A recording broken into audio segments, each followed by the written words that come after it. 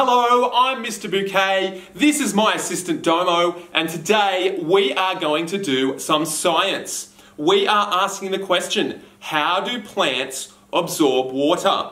And to answer this question, we are going to do a science experiment. And for this experiment, you will need the plant we are going to use today is some celery.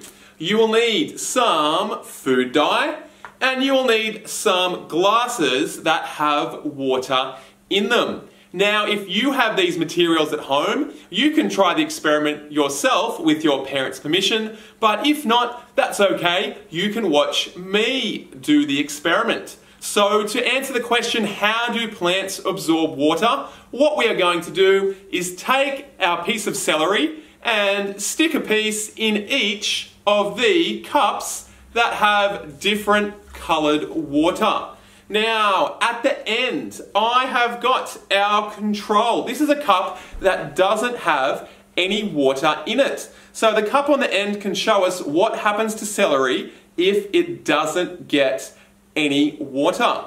And there it is there. That is the entire experiment. All we have to do now is wait. So I'll come back in a week's time and show you the results. But while we're waiting, we know that good scientists make predictions. So in the comments below, can you write your predictions? What do you think will happen to the celery that's in the red water?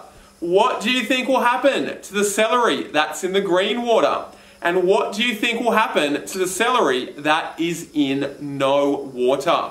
Write your predictions in the comments below, and in a week's time, I'll be back to share with you the results. Thank you very much for watching. I've been Mr. Bouquet. This has been my assistant Domo. I hope you're having fun with home learning. I'll chat to you next time.